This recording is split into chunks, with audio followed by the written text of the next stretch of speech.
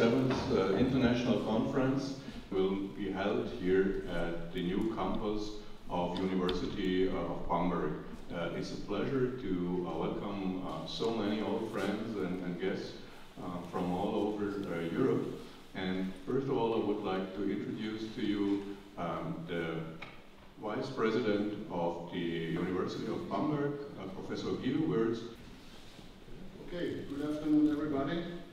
I have the pleasure and the honor on behalf of the University of Bamberg uh, and our president.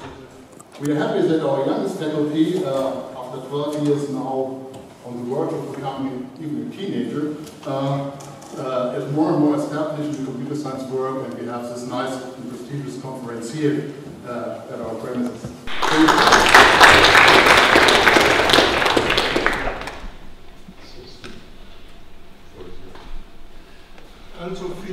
Für diese Einladung. Es freut mich immer in Deutschland zu sein und es freut mich insbesondere die Gelegenheit zu haben, dass ich über diesen Gebiet äh, sprechen zu können, zu diesen Versammlungen, die äh, das besonders gut kennen sollte. Failures exponential science. So problem is, what can we say about the distribution, about, about the time, the total, for the total task, uh, given that we know distributions of the task time and the and it varies a little bit how, how rigorously we have done uh, all these uh, cases here. So, two distributions with a possibly light tail, the distribution of the uh, task time and the failure time distribution. But if uh, only if this assumption of infinite support, then we're going to get something negative.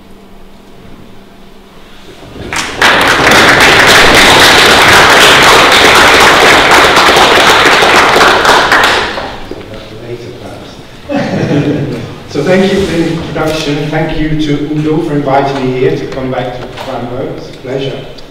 Uh, I know Udo for a long, long time also, 25 years I think I was just calculating. So I'm going to talk to you about uh, some reflections I've been having over the last few years on information-centric networks. So like a lot of people, I've been looking at this new paradigm for a future internet. We've been working uh, in a project within France on this for about three years. But then there's a tail. This tail is constituted by uh, a continuously decreasing slope. Uh, we've actually modeled it by a set of linear segments decreasing from a slope of 1 to 15, or minus, 15, or minus 1 to minus 15. So I'm going to talk to you about my reflections. First of all, observe that most internet traffic is now content, delivering content, not real time, but stored content in one form or another. And this is coming across the internet from servers, often in the US or from Google. We, we learned this morning that Google's spread over the world, but there, there are central kind of data centers, huge data centers. We've got CDNs which occur within the network at different, uh, different points, depending on the particular CDN operator, Akamai, Limelight, or they have different policies, Google also.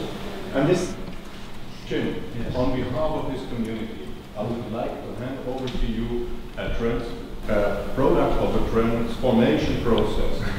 the people from Würzburg were able to transform the hardware of the City Hall of Bamberg into software. Oh. And I hope it's possible to transfer this package by the help of Air France, or how I call it, Air France, from Nuremberg International Airport to your home in Paris. Thank you and very much. all appreciate great insight that you give us with regard to the next generation internet, and we hope that the next generation Jim Roberts will come back to Bamberg or any other German side where we celebrate MMB again. Thank you very much.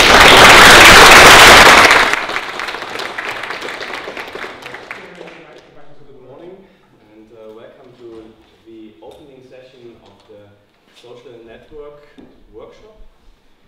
My name is Kai Fischbach, and I'm happy to introduce our guest speaker, Professor Nina Zweig. Nina is a full professor at the University of Technical University of Kaiserslautern, where she leads a group on graph theory and complex network analysis work, and um, very much looking forward to your talk. Thank you very much. Um, I'm very happy to have been invited to come here, but I'm sorry I will present some kind of a downer to you, because I want to speak today of the topic when you cannot use network analysis. So that's quite a devastating finding, huh? So we should be able to navigate in complex networks, in complex spaces, but it seemed that we are not so good at that.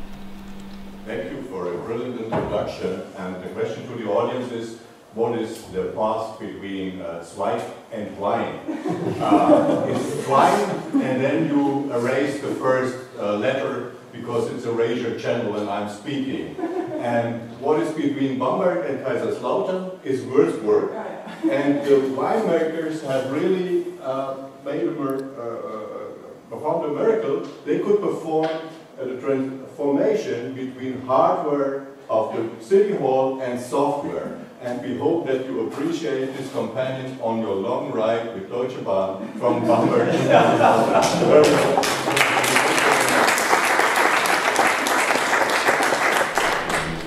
I'm more than happy to introduce our guest speaker, and I always have to, now you may help me, help me again with your name, it's Warwick Van Hettenheim? Yeah. Yeah, close, close enough. Close.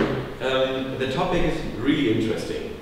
And Ward will talk about the energy consumption of ICT and different approaches to model consumption of the technology that most of us use to conserve energy at other places. However, the technology also consumes energy, and how much that is and how this will evolve um, will be presented by Ward. The paper is quite new. It is already frequently cited, so it's, it's one of the high impact publications um, that, that we've seen in this domain.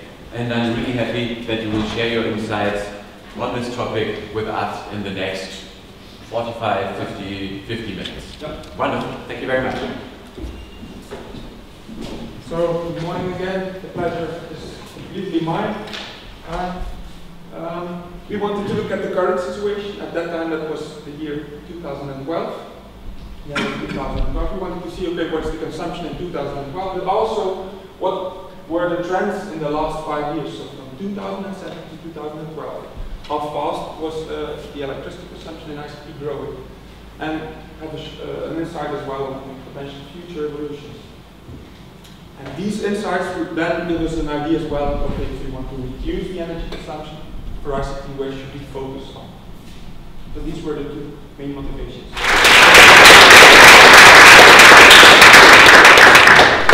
And welcome to the final session of the um, workshop. I'm delighted to welcome our guest speaker, Professor Peter Gloor. Peter is uh, juggling several hats. So first of all, he is a research scientist at the Center for Collective Intelligence at MIT Sloan School of um, Management. But he's also honorary professor at the University of Cologne, a lecturer at Aalto University in Helsinki, and a distinguished visiting professor at Universitat Católica de Chile. Yeah? um, as many of you know, he's a leading expert on the intersection of social networks, innovation, and collective intelligence. And yeah, we are grateful and honored to have you here, Peter. And uh, all of us are looking forward to your talk. So please join me in welcoming uh, Professor Gloor.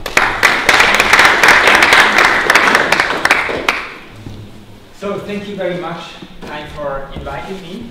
I would like to talk to you in the next hour about a series of projects that we have been doing on trying to find patterns of innovation. And in more technical terms, what this means is longitudinal social network analysis. We have interaction patterns among people, and the lucky thing is that team gave us the means of studying how those COINs, learning networks, interest networks evolve over time with the World Wide Web. Although the key means that I'm using, email, which by the way, I think was invented by David Clark, my first boss at MIT, which also means that we cannot just look at changes in networking structure, but we also do a lot of content analysis, and we look at changes in word usage, and we look at emotionality of content, and how this evolves over time. Or to put it in other words, we get a lot of independent variables to predict innovation. Now, innovation is really hard to measure, and whether it's creativity and it's not the same, and then we have innovation on the individual level, and we have what I call swarm creativity, that's sort of the big concept where the COIN is the core. That's uh, really hard.